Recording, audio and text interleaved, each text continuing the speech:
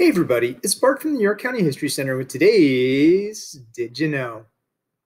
Did you know George Washington died at the age of 67 on December 14, 1799 at his Mount Vernon estate? George was born on February 22, 1732 to parents Augustine Washington Sr. and Mary Ball Washington. Washington's tomb.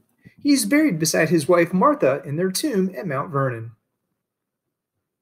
As Commander in Chief, George Washington led our nation to victory over the British. He returned to politics in 1787 to preside over the Constitutional Convention in Philadelphia. George Washington was unanimously elected the first president of the United States in February 1789. Visits to York.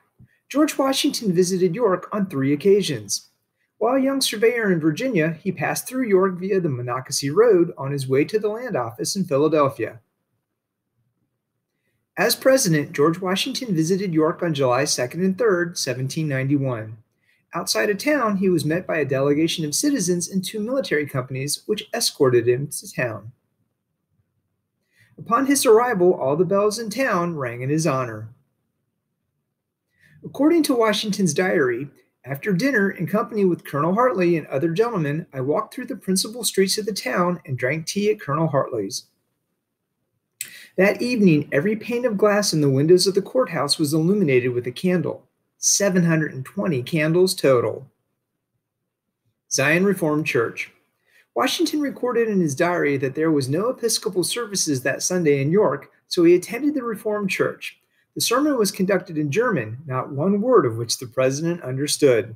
After the religious services, he proceeded to Lancaster. Whiskey Rebellion. Washington passed through York a third time when returning from the Whiskey Rebellion.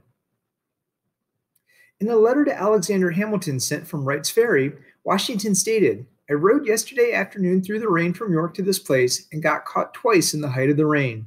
I was delayed by that means and hung on the rocks in the middle of the Susquehanna. When Washington died on December 14, 1799, York mourned his passing with a solemn parade. Local folk artist Lewis Miller captured the scene.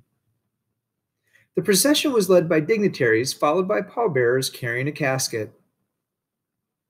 Next came a company of mourners, followed by a band with horns, stringed instruments, drums, and fifes. Finally came the citizens of York. Thanks for watching. To learn more about York County's fascinating history, visit us at yorkhistorycenter.org.